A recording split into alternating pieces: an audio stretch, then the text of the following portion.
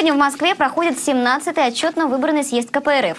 Главной задачей выбрать новый состав ЦК и контрольной комиссии. Лидер партии Геннадий Зюганов выступил перед товарищами с политическим отчетом. Темы наших лозунгов должны быть гораздо актуальнее и конкретнее. Нужно быть в нервы общественной атмосферы. Только так мы сможем сплотить вокруг себя стойких борцов Многим зрителям ОМТВ могло показаться, что некоторые винтики путинской системы начинают ржаветь и прозревать от беспредела, который творит нынешняя так называемая «российская власть». Российский блогер Дмитрий Иванов, более известный как Камикадзе Дэд, 26 мая 2017 года выложил на своем YouTube-канале ролик в честь миллиона подписчиков. Но речь в этом материале не о нем, а о девушке, фрагмент видео которой Дмитрий Иванов использовал в качестве наглядной демонстрации несогласия молодых людей с инициативой спикера Совета Федерации Валентины Матвиенко запретить молодежи участвовать в митингах. Вот этот фрагмент. И люди, даже которые не поддерживают Навального, просто охреневают от подобного предложения, записывают обращение Валентине Ивановне. Уважаемая Валентина Ивановна, и все те, кто смотрит на нас, на молодежь, как на послушных маленьких детей. Конечно, вы все там считаете, что вы за нас должны думать и принимать решения, а мы должны жить между бургером и телевизором и не мешаться у вас под ногами. Но это не так. Данная особа является чемпионкой мира по пауэрлифтингу и также имеет свой YouTube-канал. В своем обращении к Матвиенко она сокрушается по поводу тяжелой судьбы простых граждан России, которые, в отличие от мажоров и детей чиновников, не могут найти свое место под солнцем. Валентина Ивановна, дело не в оппозиции, не в движухе и совсем даже не в Навальном.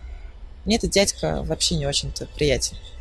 Но еще больше неприятны мне те, кто считает нас, молодежь, за глупое быдло. Валентина Ивановна, неужели вы думаете, что каждый ребенок, начиная с первого класса, не понимает, что у нас появились люди высшего и низших сортов? Что кто-то идет в школу с автобуса, а кого-то привозят на Мерседесе? Что детям из богатых семей доступно все, абсолютно все – Обычные родители, например, должны вкалывать на двух работах, чтобы оплачивать спортивную секцию ребенка, если он хочет заниматься спортом на более-менее серьезном уровне. И то, скорее всего, шанс достичь чего-либо в жизни у него совсем невысок. Неужели вы сами не видите, как ведут себя на улицах города мажоры? Эти самые детки чиновников и бизнесменов. Она даже сына Сталина вспоминает, который не отсиживался в тылу во время войны, а нынешние детки руководства страны, видите ли, не поехали ни в Сирию, ни на Донбасс. Валентина Ивановна, а между тем я совсем не видела детей нашей элиты ни в Сирии, ни на Донбассе. Казалось бы, при чем тут Донбасс, если в представлении кремлевской пропаганды в Украине продолжается гражданская война? Генеалогия гражданской войны. Попробуем разобраться, как получается, что страна добровольно скатывается в трагедию. В гражданской войне на Украине на этой неделе наступил перелом. Ополченцам удалось окружить крупные силы украинских войск. На Украине нет гражданской войны. Нет гражданской, но какая? Украина очевидно больна. Из-за гражданской войны на Украине в Россию перебираются не только мирные жители. Украинские военнослужащие и российские военнослужащие будут не по разные стороны баррикад, а по одну сторону баррикад. Растратив полученные ранее международные кредиты на бессмысленную гражданскую войну, Киев просит у Запада еще денег, а старые обязательства признавать не хочет. Итак, возможность избежать гражданской войны на Украине сейчас зависит от Запада. Гражданская война на Украине окончательно вышла за пределы Юго-Востока.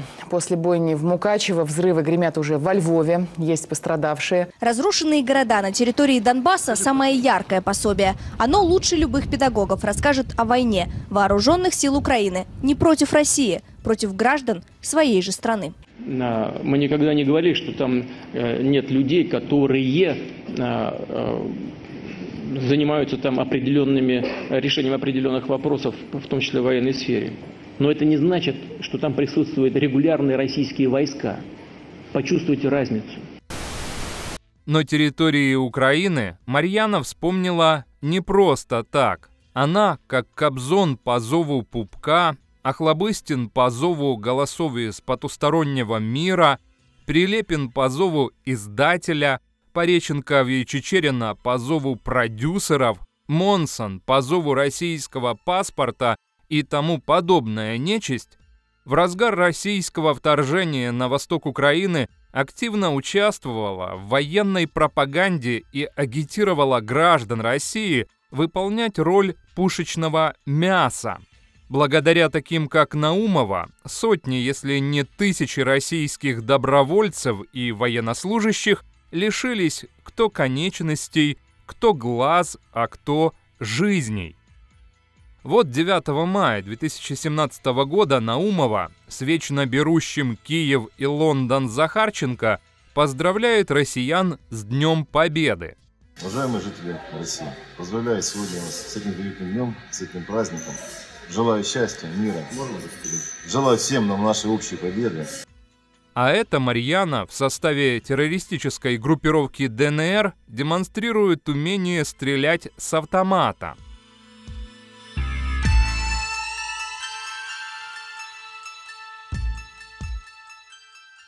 Здесь Марьяна агитирует россиян ехать в Сирию. Фрагмент включения для РЕН-ТВ. Ну, я не знаю, мне кажется, так нельзя заставить любить президента, потому что он все для них делает и помогает, и обеспечивает там, где есть асад, там есть образование, работа, и люди не хотят оттуда уезжать, а бегут, конечно, оттуда, где есть вот исламское государство и различные другие группировки. И с коммунистами Наумова тоже успела засветиться. Дорогие товарищи, дорогие наши защитники, сердечно поздравляю вас с Днем Советской Армии и Военно-Морского флота. Сыны русской земли всегда славились своими подвигами. Они складывали легенды и песни. Так было во времена Петра I, во времена Великой Отечественной войны, во время исполнения военного долга в Афганистане, так и сейчас на Донбассе и в Сирии. В этот день мы поздравляем всех тех, кто, не щадя своей жизни, сражается за мирное небо и отстаивает интересы нашей великой Родины. Чтобы понять суть мировоззрения Марьяны, достаточно посмотреть эти кадры. С Монсоном все понятно. Для него, как и для Сигала, Роя Джонса, Депардье и других обладателей российского паспорта, деньги не пахнут. А вот Наумова в свои 18 явно все делает искренне. И цветы к памятникам коммунистических вождей регулярно возлагает, и с пропутинским президентом Молдовы Дадоном встречается по зову сердца, и от Зюганова бирюльки получает с удовольствием, и с террористами позирует, и с радостью участвует в информационной войне против Украины. Только вот в адрес Матвиенко высказывается явно не по собственной воле. Ребята, думайте своей головой, не слушайте провокаторов.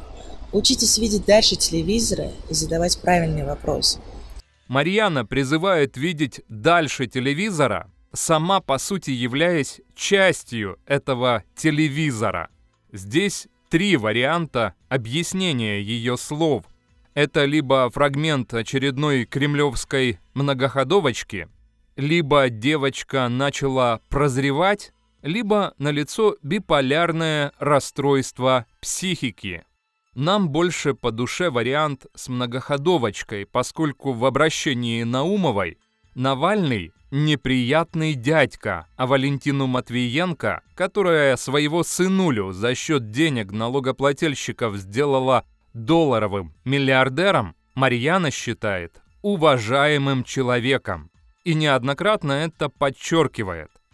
Уважаемая Валентина Ивановна, Валентина Ивановна, Валентина Ивановна, Валентина Ивановна, Валентина Ивановна, если вы реально хотите забрать молодежь с улиц, подумайте о том, как вернуть нам доступный спорт, а, доступное образование, доступную медицину и доступный отдых, а нашим родителям работу и достойную зарплату – но нам интересно ваше мнение, которое вы можете оставить под этим материалом. Ссылку на полное обращение Наумовой мы размещаем в описании к данному видео. Все у нас будет хорошо. Я уверена. Ваша Марьяна Наумова.